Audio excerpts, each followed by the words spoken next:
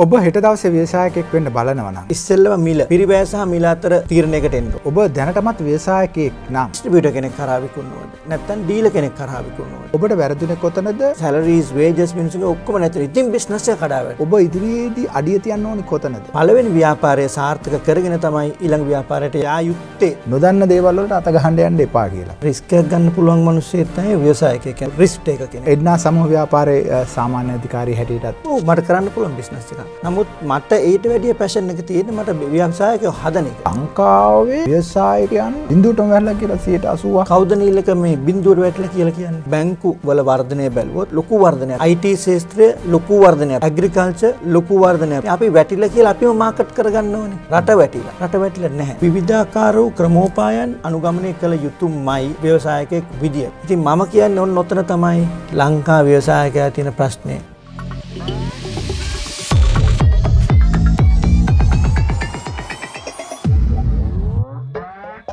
ඩිරෙක්ටෝක් අද දවසෙත් අපි වැඩසටහන ආරම්භ කරනවා ශුශිෂී පුද්ගලයකුත් එක්ක.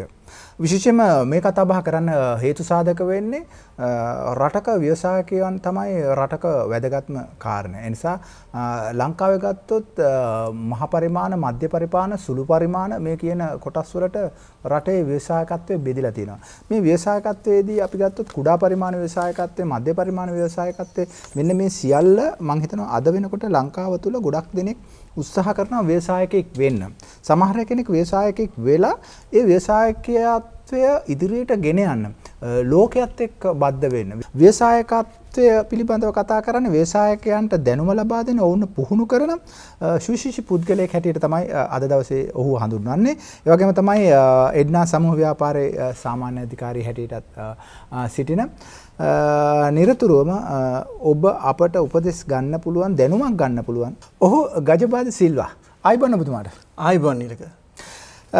මම හිතනවා ඔබතුමත් එක්ක කතා බහ කරන ශේෂ්ත්‍රය පිළිබඳව කතා කළොත් මම හිතන්නේ අද කාලේ අද දවසේ වෙනකොට මේ රටේ ආර්ථිකයත් එක්ක මේ ව්‍යවසායකය පිළිබඳව ගොඩක් දෙනෙක් කතා වෙනවා. ගොඩක් වෙලාවට කතා බහට ලක් වෙනවා. රටක ව්‍යවසායකත්වය තමයි රටක කොඳුනාරටි බවට පත් වෙලා තියෙන කාරණය. ඒ නිසා දැන් ඔබ ව්‍යවසායකයා දකින්නේ කොහොමද ඉස්සෙල්ලාම? ව්‍යවසායකයෙක් කියන්නේ කවුද කියන එක පොඩ්ඩක් හඳුන්වන්න. ඇත්තටම ව්‍යවසායකයෙක් කිව්වොත් දැන් තියෙන සිටුවේෂන් එකේදී ගොඩක් වෙලාවට රිස්ක් එකක් ගන්න පුළුවන් මිනිස්සෙක් තමයි ව්‍යවසායකයෙක්. කියන්නේ අපි කියන මේ ස්ථානය.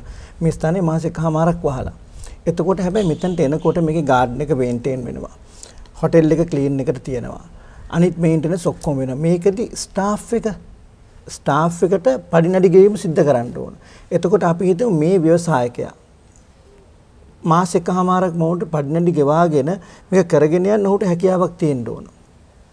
එතකොට ඔහු මේ බිස්නස් එක කරන්න කොච්චර රිස්ක් එකක් කරන් තියනවද? එතකොට එයා ඒ පුද්ගලයා මෙතනින් එහාට අපි හිතමු සමහරලාට මේ හොටෙල් එක විතරක් නෙවෙයි.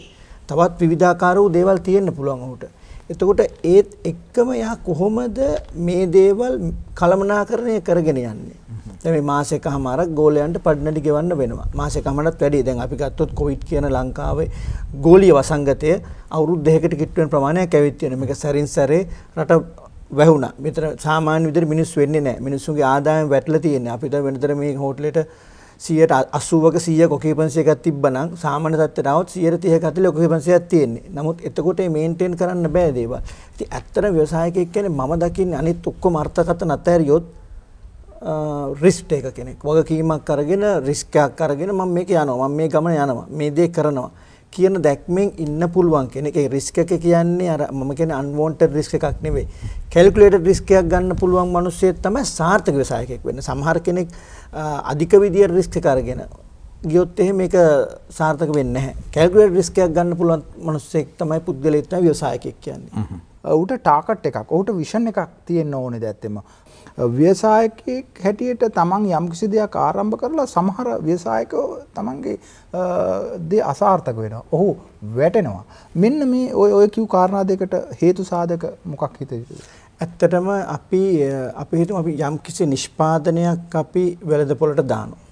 ඒ වෙළඳපොළට දාන්න ඉන්න නිෂ්පාදනයේ Tamanට මොකද්ද Tamanට එකේ තියෙන මාකට් එක. මේ නිෂ්පාදනයට මාකට් එකක් තියෙනවද? කොහෙටද විකුණන්න පුළුවන්? මොන වගේ කෙනෙකුටද මේක විකුණන්න පුළුවන්. ඒ වගේ කාරණා ඇත්තටම අපි හිත යොමු කරන්න ඕනේ. ඊටත් අමතරව සමහරවිට මම පොඩි උදාහරණයක් දෙන්නම්. මම යක්කල ඔෆිස් එකක වැඩ කරනකොට නුගේගොඩ ඉඳලා යක්කල නිතර යනවා. මම මගේ එනකොට එළවලු පොඩියට සිල්ලර තැඹිලි විකුණන කරත්තයක් තියෙනවා. ඉතින් මං අර එන වේගයට නවත්ත ගන්න බෑ කැන්ඩි රෝඩ් එකේ. පොඩි උදාහරණයක් මේ නවත්තන්න නැතුව මම බලාගෙන එනකොට මේ මිනිස්සයාගේ ස්ථානය මාරු වෙලා තියෙනවා. පළවෙනි දවසේ එනකොට මට ඊට ඉස්සෙල්ලා හිටියේ. ඒතර මට මග ඇරුණා. දෙවෙනි දවස් තවත් තැනකට ගිහිල්ලා තුන්වෙනි දවස් තවත් තැනකට ගිහිල්ලා. ඒතර මම ආයාසයෙන් මේ පුද්ගලයා හොයලා නැවැත්තුවා. නවත්තලා හැවුවා මම දැන් මම දවස් හතරක් තිස්සේ මුදලාලි හම්බෙන්න උත්සාහ කරනවා.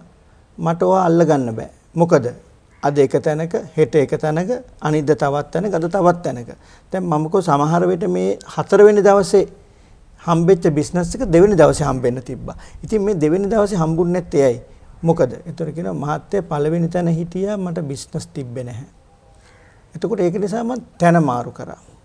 දෙවෙනි තැනට ගියා එතනත් බිස්නස් තිබ්බේ නැහැ. තුන්වෙනි තැනට ගියා. ඉතින් හතරවෙනි තැනට අද මම බිස්නස් කොහොමද? අදත් ටිකක් තියෙන ඒ වගේම තමයි. හැබැයි ඒ පුද්ගලයා සමහරට හොඳ ෆ්‍රෙෂ් බ්‍රෑන්ඩ් එකක් විතරකට හොඳට හොඳ ඩිස්ප්ලේ කරලා මර්චන්ඩයිස් ඔක්කොම හොඳයි. සාමාන්‍ය පොඩි ව්‍යාපාරිකයෙක්. හැබැයි එයාගේ ඉවසීමක් තිබ්බේ නැහැ. තනින් තැනට එයා මාරු වුණා. එයා හිතුව මෙතන තැනේ ප්‍රශ්නයක්. ඒතර සමහර තැනේ ප්‍රශ්න නෙවෙයි තිබ්බේ. එයා ඒක දැකපු විදිහේ ප්‍රශ්න දැකපු විදිහේ නීලක ප්‍රශ්න තිබ්බ. ඉතින් එතකොට ඒක තමයි එක කාරණයක් ඉවසීම. සමහරලාට පළවෙනි දවසෙන් බලාපොරොත්තු වෙනවා මට රුපියල් 10000ක 15000ක ආදායමක් ගෙනුන. ඒ කියන්නේ ඇත්තටම බලාපොරොත්තු යාගේ තියෙන්නේ ලොකු ටාගට් එකක්. හැබැයි මේක ව්‍යවසායකයෙක් කියන එක ග්‍රැජුවලි ග්‍රෝ වෙන්න ඕන දෙයක්. පොඩ පොඩ ග්‍රෝ වෙන්න ඕන දෙයක්. හැබැයි එතෙන්දී ඉවසීම තිබ්බේ නැහැ. මෙයා අධික එයාගේ ඉලක්ක වෙළඳපොළ ඉලක්කය වැඩි වුණා. ඉතින් ඒ විල එච්චර ලොකු ඉලක්කයකට යන්න ඕනද? කොහොමද හිමීට හිමීට මේ ග්‍රෝ වෙන්නේ? දැන් ඊයේ පෙරේදත් ඕගනික් ෆාමින් කරන කෙනෙක් මට වැල්වායි හම්බුණා. එයා මගෙන් අහනවා මට කොළඹට බඩු එවන්න ඕන කිලෝ 10000ක් දාන්න. මම කිලෝ 10000ක් මාසෙට විකුණන්න හම්බෙන්නේ දවසට විකුණන්න හම්බෙන්නේ නැහැ. වා පටන් ගන්න කිලෝ 30කින් 40කින් පොඩ පොඩ ග්‍රෝ වෙන්න. හැබැයි එයා කියනවා නෑ මගේ මගේ නිෂ්පාදනය මෙච්චරක් තියෙනවා. හැබැයි නිෂ්පාදනය තිබ්බ නිෂ්පාදනය ඔක්කොම දාන්න පුළුවන්ද මාකට් එකට? එහෙමනම් තමන් කීප දෙනෙක් සොයාගත යුතුයි. මේක මාකට් කරන්න කීප දෙනෙක්. දැන් තනි පුද්ගලයෙක් මේක දාගෙන කොහොමද කරන්නේ? කිලෝ 10000 ප්‍රොඩියුස් වුණාට කිලෝ 10000 හෝ 1000 දෙන්න බෑ. ඉතින් එතකොට ඒ වගේ ප්‍රශ්න තියෙනවා සමහරවිට. එතකොට ඒ කියන්නේ අපි කියන්නේ සාමාන්‍යයෙන් අර ඩිස්ට්‍රිබියුටින් චේන් එකක් වගේද? ඔව් ඩිස්ට්‍රිබියුටර් channel අපිට channel එකක් කියන්නේ යා එක පුද්ගලයෙක් කරහා දාලා මේක ඕගනික් ෆුඩ් එකක්, ඕගනික් ප්‍රොඩක්ට් එකක්. හැබැයි ඕගනික් ප්‍රොඩක්ට් එක ලංකාවේ ඕගනික් ප්‍රවණතාවයක් ඇති වෙගෙන යනවා. හැබැයි ඒක සැරේ බ්‍රෑන්ඩ් එකක් විදිහට එළියට එන්න පුළුවන්ද? එයා මම අපි හදන බ්‍රෑන්ඩ් මේ බ්‍රෑන්ඩ් එක දාපු සැනින් එළියට එන්න බෑ. විවිධ කර අපිට කොකා කෝලා කියන බ්‍රෑන්ඩ් එක හෝ තවත් යම් කිසි පෙප්සි කියන බ්‍රෑන්ඩ් එකක් හැදුවොත් කාල සීමාවක් ගිහින් තියෙන බ්‍රෑන්ඩ් එක හදන්න. එක රැට ඒ බ්‍රෑන්ඩ් එක හදන්න බෑ. ඉතින් එතකොට සමහරට කොකා කෝලා බෝතලේ මුලදී 5යි 6යි වික්කේ දැන් මිලියන් ගණන් වික්කට. ඉතින් අපි ඒ සංකල්පයට යන්නේ නැතුව මේ ටික ඔක්කොම ගෙනාම මේක නරක වෙනවා. ඊට පස්සේ තමන්ගේ ට්‍රාන්ස්පෝර්ට් කොස්ට් එක, පැකේජින් කොස්ට් එක, එතකොට සැලරීස් වේජස් මිනිස්සුගේ ඔක්කොම නැතර. ඉතින් බිස්නස් එක කඩා වැටෙනවා. අන්න එතනයි අනිත් ප්‍රශ්නේ තියෙන්නේ ඒක. ඔබ කියන්නේ ව්‍යවසායකයෙක් නම් තමන්ට පුළුවන් ප්‍රමාණයෙන් පටන් ගන්න කියලා. ඒ කියන්නේ විශාල ලොකු වෙළඳපොලක් එකපාරම හිතන්නේ නැතුව. එහෙම අනිවාර්යෙන්ම අනිවාර්යෙන්ම මොකද තමන් අපි පොඩියට පට අද රුපියල් 100 බිස්නස් එක තමයි මිලියන් ඩොලර් බිස්නස් එකට ග්‍රෝ වෙන්නේ. හැබැයි අපි හිතුවොත් අපිට එක සැරේට මේ බිස්නස් එක මිලියන් ඩොලර් බිස්නස් එකක් කරන්න ඕන කියලා බෑ. ඕන ව්‍යවසායකයෙක් ගන්න ලංකාවේ මට නම් කිව්වොත් මම කියන්න. එයා පටන් අරගෙන හොටෙල් එකක් ගත්තත් කාමර දෙකෙන් තුනේ. පටන් අරගෙන පොඩියට ගිය දේවල් තියෙන්නේ. ඉතින් ඒක අනිත් එක තමයි තව දෙයක් තමයි අපිට තියෙන concept එකක් inorganic growth organic growth කියලා කම්පැනි එක. හොඳම උදාහරණයක් කියන්න ඔය අපි වගේ පුද්ගලික සාමවල වැඩ කර කෙනෙක් රන්දීප ඇග්‍රෝ කියලා තියෙන පොළොන්නරුවේ එයා ඇග්‍රි බිස්නස් පටන් අරගෙන පටන් අරගෙන යනකොට එයාට ඕනකම තිබ්බ ඇග්‍රි වලින් එළියට යන්න. එතකොට ඇග්‍රි වලට අමතර හැමතිස්සෙම බිස්නස් එකට හංග මට කෝල් කරලා දිමුතු අහනවා තව මොන හරි අපිට කරන්න බැරිද? මොන වගේ දෙයක්ද අපේ බිස්නස් එකට ගේන්න පුළුවන්? හැබැයි ඒ කරේ පළවෙනි බිස්නස් එක සාර්ථක වුණායින් පස්සේ. එහෙම නැතුව මට කම්පැනි 100ක් තියෙනවා. මට කම්පැනි 10ක් තියෙනවා කියලා බිස්නස් කාඩ් එකේ ගහගත්තට ඒක සාර්ථක ව්‍යාපාරයක් වෙන්නේ නැහැ. පළවෙනි ව්‍යාපාරය සාර්ථක කරගෙන තමයි ඊළඟ ව්‍යාපාරයට යා යුත්තේ. එසේ නොවුනොත් ඔහුගේ කන්සන්ට්‍රේෂන් එක. එන්ටර්ප්‍රෙනර් කෙනෙක් විදිහට තමන් පළවෙනි එක පළවෙනි කම්පනියට දාන එෆර්ට් එකම දෙවනි කම්පනියට දාන්න බැරි වෙනවා. පළවෙනි කම්පැනි එස්ටැබ්ලිෂ් වෙලා සෙටප් වුණායින් පස්සේ ඒක ඒක ඒ විදියට දුවනවා දෙවෙනි කම්පැනිට එෆර්ට් එක දාන්න පුළුවන් ඒක ග්‍රෝ වෙන්න. එහෙම තමයි සිද්ධ විය යුත්තේ. ගජබාද සිල්වා දැන් ඔබ ව්‍යවසායකයන්ට දැනුම ලබා දෙන ව්‍යවසායකයන්ව දැනුවත් කරන උපදේශකවරයෙකු. දැන් ඔබ උපදේශකවරයෙක් කෙන අර අපි කියන්නේ Tamanට ඉස්සෙල්ලා ඒ දේ පිළිබඳව හසල දැනුමක් තියෙන්න ඕනේ අත්දැකීම තියෙන්න ඕනේ කියලා. එතකොට ඔබ ව්‍යවසායකයෙක් නොවි ඔබ කොහොමද තවත් කෙනෙකුට උපදේශනයක් දෙන්නේ? හොඳ ප්‍රශ්නයක් නිලක. ඇත්තටම මම චූටි දෙයක් අහන්නම්. අපි වර්ල්ඩ් කප් එක දිනුවා. ඩේව් වට්මෝගේ. එතකොට ඩේව් වට්මෝ හොඳම කෝච් කෙනෙක්. හැබැයි ඔය කෝච් කිව්වනම් අර්ජුන ඔයා නෙවෙයි මම ගිහිල්ලා ගහන්නම්. මුත්තයිය ඔයා නෙවෙයි මම බැට් කර බෝල් කරන්න කියලා කිව්වනම් ඇත්තටම ඩේව් වට්මෝට ඒ දේ කරගන්න පුළුවන් වෙනවද?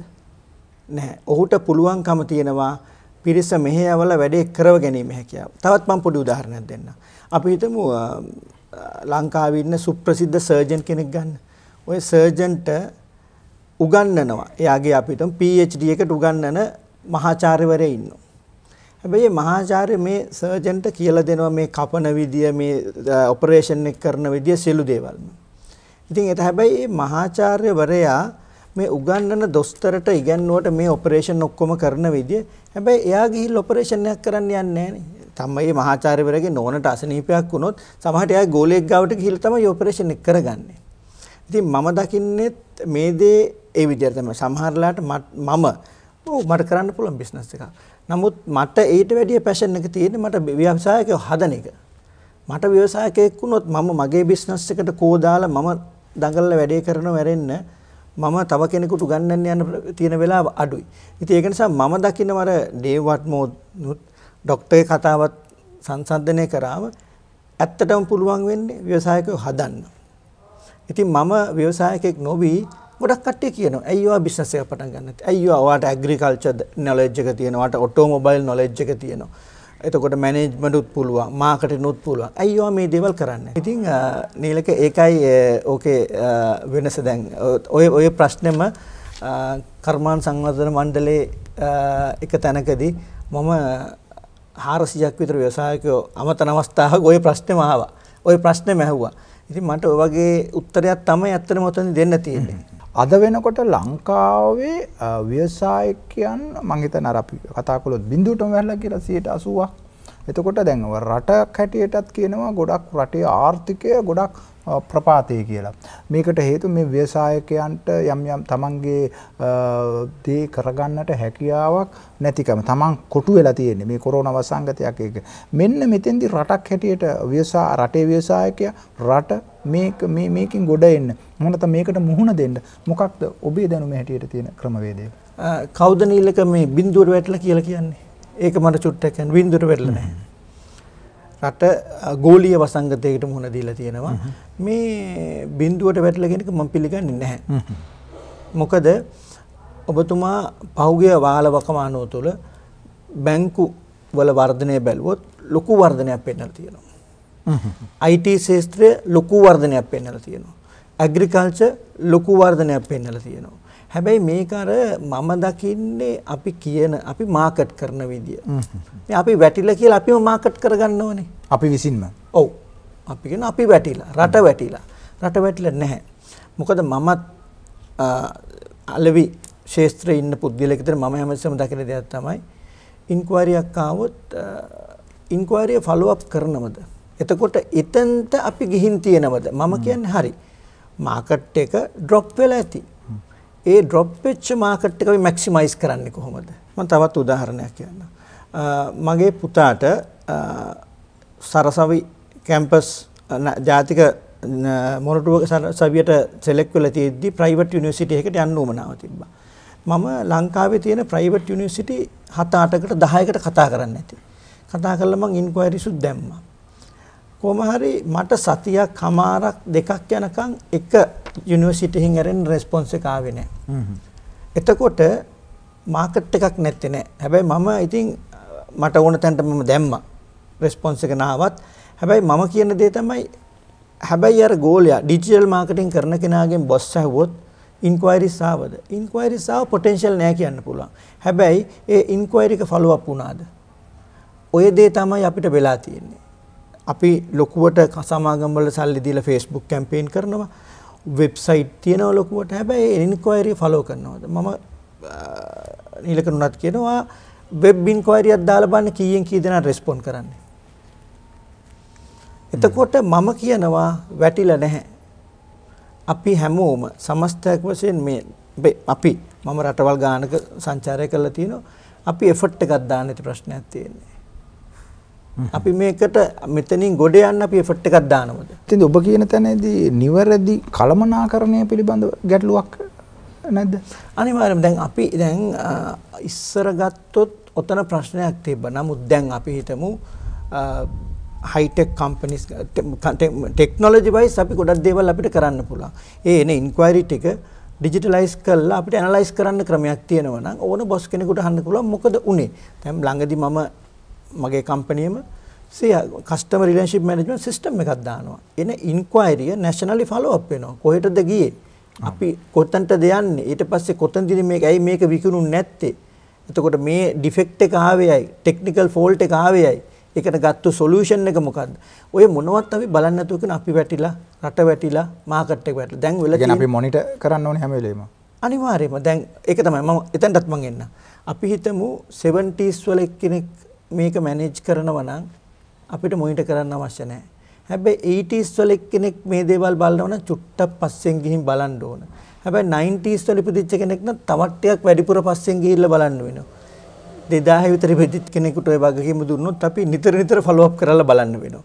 ඒතර අපි දැනගන්න ඕන මේ අපි ගාවින් එම්ප්ලොයි හරි එම්ප්ලොයි දෙන්නේ. එතකොට එයා අපි මැනේජ් කරගන්න වෙනව අනිවාර්යෙන්ම ඔබතුමා කිව්වාගේ හරියට මැනේජ් කරගත්තේ නැත්නම් නීලක එතෙන්දි ප්‍රශ්නයක් එනවා. ඉතින් මේ දැන් ඉන්ක්වයරි එන්නේ නැත්තේ නෑ.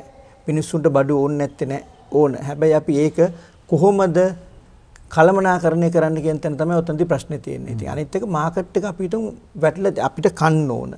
අඳින්න ඕන සියලුම අවශ්‍යතාවයන් ටික මිනිස්සු සපුර ගන්නවා. එතකොට එකම ප්‍රශ්නේ තියෙන්නේ කොළඹින් පිට ගියොත් චූටි සිල්ලර කඩ ටික බහිලා තියෙනවා. ඒ මිනිස්සුන්ගේ ආදායම නැති වෙලා තියෙනවා. ඒ අරන සමස්තයක් වශයෙන් ගත්තොත් අනිත් බිස්නස් වැටලා කියලා මම හිතන්නේ නැහැ. දැන් අපි ඉන්න හොටෙල් වගේ වැටලා තියෙනවා ලෙෂර් සෙක්ටර් එක. ඒ අරින්න ලොකු පසුබෑමක් තියෙනවා කියලා මම නම් හිතන්නේ නැහැ. ඒ කියන්නේ අපේ සිතුවිල්ල ප්‍රශ්නේ තියෙන්නේ. අපි ගොඩක් වෙලාට ඍණ පැත්ත පිළිබඳ වැඩි අගයක් දක්වනවා. අනිවාර්යෙන්ම දැන් මම කිව්වේ ගොඩක් කට්ටිය ගෙදරට වෙලා වැඩ කරනෝනේ. ඒතර ගෙදරට වෙලා වැඩ කරනකොට මම මම උදාහරණයක් මම ගෙදරට වැඩ කරනවා නම් මම අට පහ වෙන මොනවත් වැඩ දාගන්නේ නැහැ. මොකද මේක අපි ඒ වෙනුවෙන් කැපවීම වෙන්න ඕන. හැබැයි ඉතින් සමස්තයක් ගෙදරින් වැඩ කරනකොට ওই දේ වෙනවද? මම හිතන්නේ අපි ගොඩක් වෙලාවට මේ අපි පුරුදු නැහැ මේ work from home කියන concept එකට ඉංග්ලිෂ් යුරෝපියන්ස්ලා කරන්නේ නැති ගොඩක් කට්ටිය මැනුෆැක්චරර්ස්ලගේ පැත්තෙන් ගොඩක් කට්ටිය කරනවා ඩිස්ට්‍රිබියුටර්ස්ලා ඩීලර්ස්ලා බලන්න තමන් ගෙදර ඉඳගෙන වැඩ කරන ගමන්ම ෆැක්ටරියට හැමදාම යන්න ඕන නැහැ. නමුත් මෙහි සමස්තයකට ඒක කරන්න පුළුවන්. හැබැයි ඒකේ ප්‍රතිඵලයක් තියෙනවද? ඒක නිසා තමයි ගොඩක් අය ඔෆිස් වලට එන්න කියන්නේ. මම දකිනවා work from home කියන එක ඇත්තටම ප්‍රොමෝට් කරොත් පාරේ ට්‍රැෆික් ප්‍රශ්නෙට ගොඩ ලොකු විසඳුමක් කියනවා. මුදල් වියදම පෙට්‍රල් ඩීසල් ඒවා ලොකු සේවින්යක් වෙනවා කන්ට්‍රි එකට. ඒ වගේ ගොඩාක් පොසිටිව් පැත්තක් තියෙනවා මේ work from home කියන එක. ඉතින් හැබැයි ඒක හරියට කළමනාකරණය වෙනද හරියට කරනවද කියන තැන තමයි තියෙන්නේ. ඉතින් ඒකට අපි ක්‍රමෝපායක් හොයාගත්තොත් මම හිතන්නේ අපිට ලොකු ප්‍රශ්නයක් ඇති කියලා. අපි ව්‍යවසායකෙක් වුණාම අන්තිමට තමන්ගේ ටාගට් වෙන ග්ලෝබල් මාකට් එක එතෙන්ට යන්න දැක්මක්, එතෙන්ට යන්න ඉලක්කයක්. එහෙම තැනකට ගොඩක් දෙනෙකුට යන්න බැරි තැනක් එනවා. ඇයි මෙහෙම තැනකටපත් වෙන්නේ? සමහර ව්‍යවසායකයෝ එක තැනක හිර වෙනවා. එතනින් එහාට ඔහුට ඕ ඇයට ඉදිරියට යන්න බැරි බවක් තියෙනවා. මෙන්න මේක निराකරණය කරන්න පුළුවන් කොයි ක්‍රමවේදයන් තුලද? මෙහෙමයි නීලක. ඕකේ මම දකින ප්‍රශ්න තමයි ග්ලෝබල් කම්පැනිස් ගොඩක් ගත්තොත් හැම ග්ලෝබල් කම්පැනි එකේ චෙයාමන් කෙනෙකුට මෙන්ටර් කෙනෙක් ඉන්නවා. එතකොට පොඩි ව්‍යවසායකයෙක් පටන් අරන් Tamanට දැනුම මේ දේ මෙහෙම කරන්න මේ දේ මෙහෙම වෙන්න ඕන කියන තැනට ලංකා ව්‍යවසායකයා තාම ඇවිල්ලා නැහැ. ඒ අර මෙන්ට කියන concept එක ලංකාවේ build වෙලා නැහැ. මට උපදේශකයෙක් ඉන්නවා. මට මෙයා මෙහෙම කියන මෙහෙම ඊට අමතරව තව ප්‍රශ්නයක් තමයි ග්ලෝබල් මාකට් එක ටච් කරන්න යනකොට ගමේ හැදිච්ච ව්‍යවසායකය බයයි ග්ලෝබල් මාකට් එකට යන්න. මට ඉංග්‍රීසි බෑ. මට ඉංග්‍රීසි පිළිබඳ ප්‍රශ්නයක් තියෙනවා. මට මේක කතා කරන්නේ කොහොමද? ග්ලෝබලි ගිහිල්ලා කතා කරන්නේ කොහොමද? හැබැයි මම ඒකට පොඩි උදාහරණයක් කියන්නම්. අයි අපි නෙගටිව් වෙන්න හොඳ නැහැ. චීනට යන්න. කැන්ටන් ෆෙයාර් එකට යන්න. එතකොට චීනේ කැන්ටන් ෆෙයාර් එකට ගියොත් 195ක් කතා කරන්නේ චීන භාෂාවෙන්. හැබැයි ට්‍රාන්ස්ලේටර්ස්ලා එතන මෙතන ඉන්නවා. හැබැයි එහෙම කියලා චීන ජාතිකයන් ලෝ අල්ලගෙන නැද්ද? චීන ප්‍රොඩක්ට් ලෝ පුරා නැද්ද? ඉතින් ඕතනින් තමයි අපි එළියට යන්න ඕන. එතකොට අපි මම හිතනවා එක මේ අලුතෙන් බිහි වෙන ව්‍යවසායකයන්ට කොතන හෝ තලයක් හැදෙන්න ඕන තමන් කොහොමද මේක ජාත්‍යන්තරයට ගෙනියන්නේ කියන එක. එතකොට ඊට අමතර අපි හිතමු මගේ ප්‍රොඩක්ට් එකක් තියෙනවා. මම කෑලි 1000ක් හදනවා. මට එතකොට මේක එකපාරට ග්ලෝබල් මාකට් එක අල්ලන්න බැරි නම් ග්ලෝබල් මාකට් එකට යන කට්ටිය ඉන්නවා. ලංකාවේ විශාල පරිමාණ කම්පැනි. එතකොට මම මැනුෆැක්චරර් වෙනවා. ඒගොල්ලෝ මාකට් කරනවා. එකම ප්‍රශ්නේ තියෙන්නේ තව පොඩි මාජින් එකක් ඇඩ් වෙනවා මාකට් කරන පුද්ගලයාට. ඒක ප්‍රශ්නයක් නෑ. දැන් අපිට නීලක ගාව තියෙන ප්‍රොඩක්ට් එක තව කෙනෙකුට දෙනවා. තව පොඩි මාජින් එකක් ඇඩ් කරලා එයා විකුණනවා. හැබැයි ඒවට කන්ටිනියුවස් සප්ලයි චේන් එක දෙන්න ඕනේ නිෂ්පාදනයට. ඒක දකින්න, ඒක කියලා දෙන්න. එතනට යන්න, ඒ බිස්නස් එක ඩ්‍රයිව් කරන විදිය කියලා දෙන්න හැමතිස්සෙම මම කියනවා ඕනම පොඩි ව්‍යවසායකයෙකුට මෙන්ට කෙනෙක් සිටිය යුතුයි. දැන් මගෙන් ඕන තරම් දැන් ගිය සතියේ සමහරලාට එක එක්කෙනා කතා කරලා ප්‍රශ්න අහන පැය එකමාරක්. කම්පැනි එකේ චෑමන් කෙනෙක් පොඩි ස්මෝල් ස්කේල් කම්පැනි එකක අයිති කෙනා කතා කරා. කතා කරාම ඉතින් මම කිව්වේ මේ මේ මේ මේ දේවල් වෙන්න ඕන. හැබැයි එයා ගාව 300ක් වැඩ කරනවා. හැබැයි එයා තමයි ලාච්චුව බලන්නේ. ලාච්චුව බලන කෙනා චෙක් එක ලියන්නේ, චෙක් එක වැඩ කටයුතු කරන්නේ, සේල්ස්මන්ලට උඩට බ්‍රීෆ් එක දෙන්නේ. හැබැයි නෑ එතනින් එයා එළියට ගියේ නැත්තම් 300 සේවකයෝ 600 කරගන්න බෑ එයාට. මම උදාහරණයක් මම කිව්වා බැංකුවක උනා නම් ඔයා හැමදාම ගිහලා බැංකු ටිකේ ලාච්චු බලනවද? නැහැ. වගකීම බාර දෙන්න. කෙනෙකුට කරගෙන යන්න දෙන්න. ඉතින් අර ඒකයි වැඩි පොඩි ව්‍යවසායකයෙක් ලොකු ව්‍යවසායකයෙක් වෙනකොට ඔහු අර පොඩි කාලේ කරපු ටිකම කරන්න බලාපොරොත්තු වෙනවා. ලොකු පින්තූරයක් දකින්නේ නැහැ. ඔබ හෙට දවසේ ව්‍යවසායකයෙක් වෙන්න බලනවා නම් ඔබ දැනටමත් ව්‍යවසායකයෙක් නම් ඔබට වැරදිච්ච තැන පිළිබඳව ඔබට ආපසු හැරිලා බලන්න පුළුවන්. ඔබට වැරදුනේ කොතනද? ඔබ ඉදිරියේදී අඩිය තියන්න ඕනි කොතනද? මෙන්න මේක පිළිබඳව ඔබට වගකීමෙන් හිතන්න පුළුවන් කමක් තියෙවි. එතකොට මම හිතනවා ඔබ ඔබ ව්‍යවසායකයෙක් හැටියට ආපු ගමන සමහර විට ඔබට ආවෙදුර මදි කියලා ඔබට සෑහීමකටපත් නොවෙන්න පුළුවන්. සමහර විට ඔබට මෙතනින් එහාට යාව යන්න තිබුණනේ කියලා හිතන්න පුළුවන්. ඉතින් ඒ නිසා මම හිතනවා මේ කතාව ගොඩක් වැදගත් වෙයි කියලා. ඔබ දැනටමත් ව්‍යවසායකයෙක් නම් ව්‍යවසායකයෙක් වෙන්න බලාපොරොත්තු වෙනවා නම් ඔබේ දැක්ම. ඔබ දැනගත යුතු වටාපිටාව ඔබ අධ්‍යයනය කළ යුතු ක්‍රමවේදයන් මොනවද? මෙන්න මේක ඉතාමත් වැදගත්. ගජබාද සිල්වා මහත්මයා ඉන්නවා. එතුමත් එක්ක තවදුරටත් කතා කරමු. අර ඇත්තම කිව්වා වගේ දැන් ව්‍යවසායකයෙකුගේ වැඩිපුරම ඔහු අනුගමනය කෙනෙක් වෙනවා නම් ඔහු අනුගමනය කළ යුතු ක්‍රියා පටිපාටින් මොනවද? අපි හතරස් කොටුවක් අරගෙන හතරට බෙදුවොත් එහෙම නැත්නම් අටට බෙදුවොත් මෙන්න මේ ක්‍රමවේදයන් ඔහු ප්‍රගුණ කළ යුතුයි. මේ මේ ක්‍රමවේදයන් ඔහු දැනගත යුතුයි. මේ හරහා තමයි ඔහු ඉදිරියට යන්න ඕනේ. එන්න එහෙම යම්කිසි දල ක්‍රමවේදයක් තියෙනවද? ඔව් ඒක තමයි. දැන් මම කිව්ව ඉස්සෙල්ලා අපි මාකට් එක කියන දේ පිළිබඳ දැනුමක් තියෙන්න ඕන. Tamanට තියෙන මාකට් එක මොනවද? ඒ මාකට් එකේ කොච්චර දුරට යන්න පුළුවන්ද? අපි කවුද ටාගට් කරන්නේ? අපි හිතමු යම්කිසි ඒ කියන ප්‍රොඩක්ට් එක හදනවා. එතකොට නිලක තීරණය කරන්න මේ ඒ කියන ප්‍රොඩක්ට් එක රුපියල් 100ට ලක්ෂයක් කියන පිරිසකට දෙනවද? රුපියල් 20000කට 10 දෙනෙකුට දෙනවද? ඒතර එතන පළමුව තමන් ඒක තීරණය කරන. තමන් කරන්නේ ප්‍රීමියම් ප්‍රොඩක්ට් එකක්ද මාස් මාකට් එකට යන ප්‍රොඩක්ට් එකක්ද? එතකොට ඒක අනුව ඉස්සෙල්ලම මිල පිරිවැය සහ මිල අතර තීරණයකට එන්න ඕන. ඊට පස්සේ ඒ මාකට් එකට යන්න හොඳම ක්‍රමය මොකක්ද? සුදුසුම ක්‍රමය මොකක්ද? කියන එක අපි තීරණය කළ යුතුයි. මොකද අපි හිතමු මාස් මාකට් එකට යන ප්‍රොඩක්ට් එකක් ඇවිල්ලා අපි කලම්බු 7 වල ප්‍රොමෝට් කරොත් ඒක අපිට කරන්න පුළුවන්ද? නැහැ. එතකොට ඒ අපි හිතමු කලම්බු 7 කලම්බු ක්‍රවුඩ් එකට මොකක්ද ඕනේ? ඒගොල්ලන් සමහරලාට මිල පිළිබඳ ප්‍රශ්නයක් නැහැ. ක්වොලිටිය පිළිබඳ ප්‍රශ්නයක් තියෙන්නේ. සහ මාකට් කරන විදිය ප්‍රශ්නයක් තියෙන්නේ. මාකට් කරන්නේ කවුද කියන එක ප්‍රශ්නයක් තියෙන්නේ. ඔය ටික අපි අනිවාර්යෙන් දැනගන්න ඕන. අපිට එතකොට අපි කරන නිෂ්පාදනය තියෙන්නේ කොළඹද ගමේද? එතකොට මම දැන් දකින දෙයක් තමයි ලංකාවේ මිලියන 20ක් ජනගහන ඉන්නකොට මිලියන 30කට කිට්ටු වෙන්න මොබයිල් ෆෝන් කනෙක්ෂන් තියෙනවා. ඉතින් ඒ හැම ගොඩාක් සමස්තයක් ගාව තියෙන්නේ handheld units. ඒ කියන්නේ යුනිට් එක අපිට ඩිජිටලි බලන්න පුළුවන් අර ඉස්සර තිබ්බ බොත්තම් ෆෝන් නෙවෙයි අපි කරන Android Android හොඳ ෆෝන් එකක් තියෙනවා සමස්තයකට. එතකොට මේකෙදි අපි අපේ ප්‍රොඩක්ට් එකේ මොන ප්ලැට්ෆෝම් එකේද අපි දාන්නේ? වෙබ් එක හරහා දානවද? වෙබ් එකෙන් තව තැනකට කියලා බැනර්ස් වලට දානවද? කොහොමද මේ මාකට් එකට යන්නේ? ඒ ටාගට් ඔඩියන්ස් එක අල්ලගන්නේ කොහොමද? ඔය ටික අනිවාර්යෙන් අපි තීරණයකට පැමිණිය යුතුයි. ඊට අමතරව එතකොට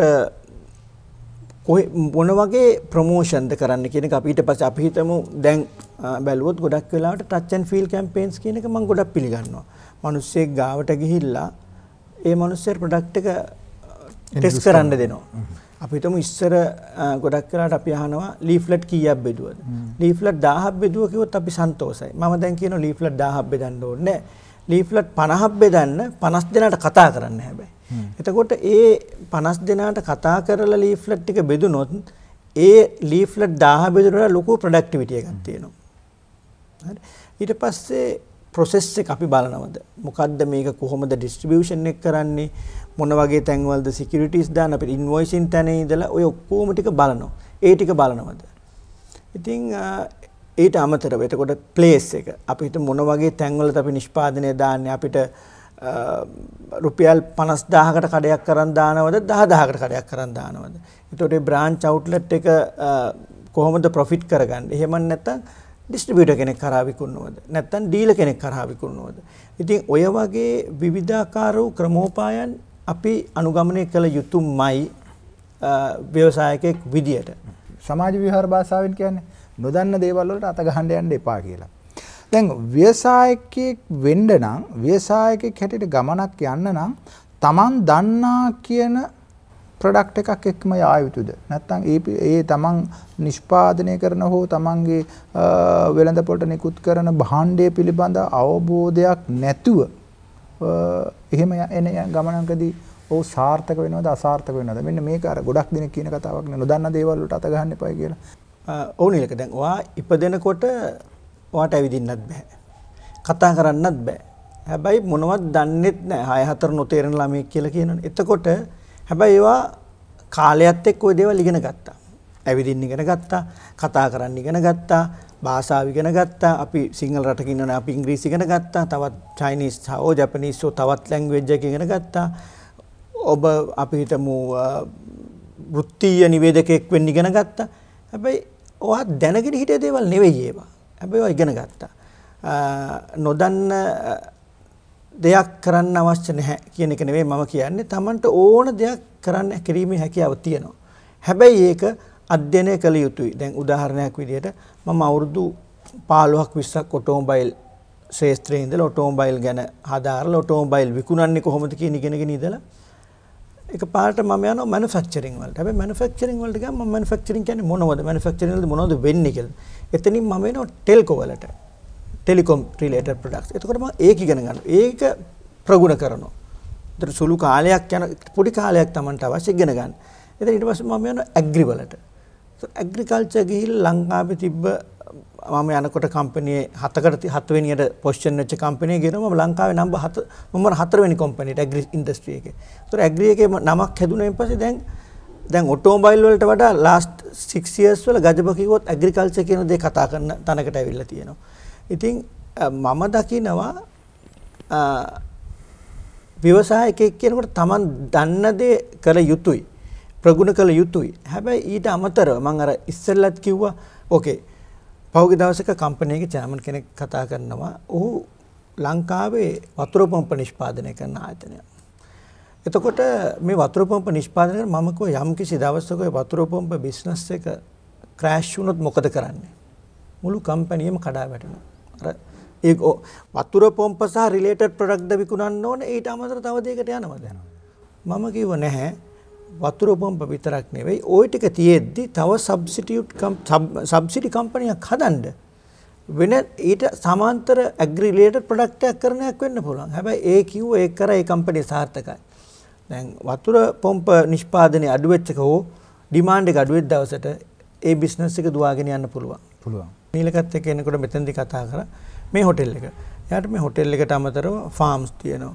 ඇග්‍රිකල්චර් ප්‍රොඩක්ට් කරනවා. එතකොට සමහර වෙලාවට මේ බිස්නස් එක වැඩිචලාට මේකෙදි මේකට බැක් කරන්න එයාගේ ෆාම් එකෙන්. මේකට බැක් කරන්න එයාගේ ඇග්‍රිකල්චර් ප්‍රොඩක්ට් එකෙන්. අන්න එතනටයි අපි යන්න ඕන. තනි බිස්නස් එකක් තනියෙන් කරගෙන යනකොට හරිම අමාරුයි. ඔබට පුළුවන් NR TV සබස්ක්‍රයිබ් කරන්න, ඒකම ලයික් කරන්න, ෂෙයා කරන්න. එතකොට ඔබට මේ පිළිබඳව සියලු දේවල් දැන ගියා ගන්න පුළුවන්. ඊට දවසේ ව්‍යවසායකයන් පුහුණු කිරීමේ පුහුණු උපදේශක ඒ වගේම එඩ්නා සමූහ ව්‍යාපාරයේ සාමාන්‍ය අධිකාරී ගජබාද සිල්වා මහතාත් එක්ක තමයි අපි මේ කතා බහ නියැලෙන්නේ.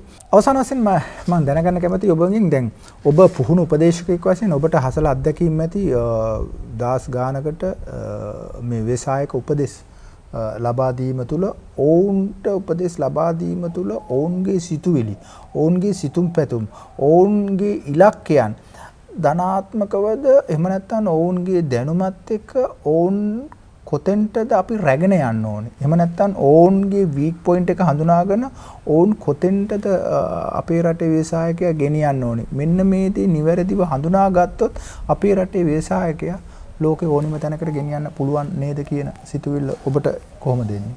ඔව් නීලක මං අර එක සැරේකුත් කිව්වා දැන් කම්පනියක් දෙන්නෙක්ගෙන් පටන් ගත්තු කම්පැනිය 200ක් වෙනකන් ග්‍රෝ වෙනවා. හැබැයි 200 වුණාමත් ඒ කම්පැනියේ ආරම්භක සමාජිකයා අර දෙන්න ඉන්න කාලේ කරපු වැඩ ටිකම 200 ඉන්න කොටත් කරනවා. එතකොට එතනින් ඔබට යන්නේ නැති එක තමයි මේ ලංකාවේ තියෙන ලොකුම ප්‍රශ්නේ. අපි හිතමු දෙන්න ඉන්නකොට මම මම මගේ කම්පැනි එක දෙන්නෙක් ඉන්නවා. මම වෑන් එකේ ඩිලිවරි යනවා. බිල් පොත ලියනවා. සප්ලයර් චෙක්ස් දෙනවා. ෆයිනෑන්ස් HR ඔක්කොම වැඩ ටික කරනවා. හැබැයි දැන් මේ කම්පැනි 200කට ග්‍රෝ වෙලා HR එක බලන්නත් පොඩි කවුරු හරි කෙනෙක් ඉන්නවා. ෆයිනෑන්ස් බලන්නත් කවුරු හරි කෙනෙක් ඉන්නවා. ඔය ඔක්කොම තියෙද්දි මම කියනවා නෑ චෙක් පොත ගේන්න මට අස්සම් කරන්න. වවුචරේ ගේන්න මට අස්සම් කරන්න. එතකොට උදේට කට්ටිය ගිය තැන් බලන්න. එතකොට GPS එකෙන් ට්‍රැක් කරන්න මෙයා කොහෙද ඉන්නේ. හැබැයි මම කියනවා මම දකින දේ. කෙනෙක් එළියට බැස්සයින් පස්සේ එයා GPS එකෙන් ට්‍රැක් කරන්න අවශ්‍ය නැහැ. මොකද මම දන්නවා මම කෙනෙක්ගෙන් අහනවා කම්පැනි එක මේ දැන් කම්පැනි පරණ කම්පැනි එක දැන් තුනයි කොහෙද ඉන්නේ? සර් ගාල්ලේ ෆෝට් එක ඉස්සරහා ඉන්නේ. මම ඇයි වැඩ නෑ සර් වැඩ ඉවරයි. මං ගෙදර ගියොත් මට ප්‍රශ්නයක් HR එකෙන් ට්‍රැක් කරලා රිපෝට් එකක් දානවා. මම අද දවසේ ඔව් සර් අද දවසේ සේල් එක හරි 100ට 140ක් ඇචීව් කරලා. එතකොට ඕවරෝල් මන්ත්ලි ටාගට් එකත් ඇචීව් කරලා නෙක්ස්ට් ලොකේෂන් එක තියෙන කිලෝමීටර් 80ක් එහා 80 යන්නත් බෑ. එතකොට ඒ ළමයට අර තියෙනවා ගෙදර ගියොත් හම්බුනසි මගේ හිටියොත් ඕනසි වගේ ප්‍රශ්නයක්. එතකොට එයා යන්නේ නැහැ මොකද මේ ට්‍රැක් හැබැයි එයාගේ ප්‍රොඩක්ටිවිටි හොඳටම තියෙනවා ඒ දවසේ. ඒ ළමයාගේ එළවෙල වේලාම යන තැන හොයනවා. ප්‍රොඩක්ටිවිටි ඇවිල්ලා එෆිෂියන්සි තියෙනවා. දැන් ඒ ළමයා තමයි කාර් එක ස්ටාර්ට් කරන් කාර් වල ඉන්නවා ටවුන් එකේ. මොකද ටවුන් එකේ හිටිය කියන්නේ. හැබැයි ඔන්න ඔයකෙන් එළියට තමයි අපි යන්නේ. අපි අර මිනිහා යන්නේ කොහෙද? ට්‍රැක් කළා මේව කරාද අර ටික කරාද ඒව බලනවද? එයාගේ ප්‍රොඩක්ටිවිටි එෆිෂියන්සි මෙෂර් කරනවද? මම කියන්නේ ඉංග්ලිෂ් කන්ට්‍රි එක අපි ගිහිල්ලා වැඩ කරොත් අපේ ට්‍රැකින් නෙවෙයි අපි බලන්නේ. Productivity efficiency. දවසේ දේ වෙලාද මාසේ දේ වෙලාද. ඉතින් එතකොට මම කම්පැනි CCTV හයි කරගන්නෝ 100ක් විතර. එතකොට ඔය CCTV වලින් බලනවා අරකද වෙන්නේ කවුද මේක කරන්නේ මොකද්ද මේවක නෑ අදාළ දේ අදාළ පුද්ගලයාට බාර දුන්නොත් Tamanට නිදහසේ ඉන්න පුළුවන් වෙනවා. තවස් Tamanට දවස් 30ක් ලෝකෙ වටේ ගිහිල්ලා එන්න පුළුවන් වෙන බිස්නස් එක දියලා තියෙන්න ඕන. ඉතින් මම කියන්නේ ඔන්න ඔතන තමයි ලංකා ව්‍යවසායකයා තියෙන ප්‍රශ්නේ. දෙක දෙවෙනි එම්ප්ලොයිස්ලා දෙක ඉන්න එක්කෙනා 2000ක් වුණත් අර දෙක ඉන්නකොට කරපු ක්‍රමෝපායම කරන්න යනවා. එතන තමයි අපි වරද්දගන්නේ. ව්‍යාපාරයක කළමනාකරන ඉතාමත් වැදගත්. ඉතින් ඒ නිසා මම හිතනවා ගජුපාද සිල්වා ව්‍යවසායකයන් පුහුණු කිරීමේ පුහුණු උපදේශකවරයෙක් හැටියට මම හිතනවා අද දවසේ වැඩසටහනේදී ඉතාමත් වටිනා කරුණු කාරණා රැසක් ඔබට දැන කියා ගන්නට අවස්ථාවක් සැලසුවා. මම හිතනවා ඒ කරුණු එක්ක ඔබට හෙට දවසේ ධනාත්මකව හිතන්න පුළුවන්. ඔබෙන් මගහැරෙච්ච දේව පිළිබඳව ඔබට හිතන්න පුළුවන්. ඔබ වැරදුණු තැන් නිවැරදි කරගන්න, ඔබට වැරදුනේ කොතනද කියලා ආපහු හැලා බලන්න. ඔබට මම හිතනවා මේ වැඩසටහන මහඟු පිටු අහලක් වෙන්න ඇති කියලා. ඒ නිසා අද දවසේ වැඩසටහනට සම්බන්ධ වන විසායකයන් පුහුණු කිරීමේ පුහුණු උපදේශක ඒ වගේම එඩ්නා සමූහ ව්‍යාපාරයේ සාමාන්‍ය අධිකාරී ගජබාද සිල්වා මහතා තමයි අද දවසේ අපත් එක්ක කතා කළා. අපිට පුළුවන් තවත් දවසකදී ඔබට තවත් දැනුම් සම්භාරයක් එක්ක එතුමත් එක්ක කතා කරන්න.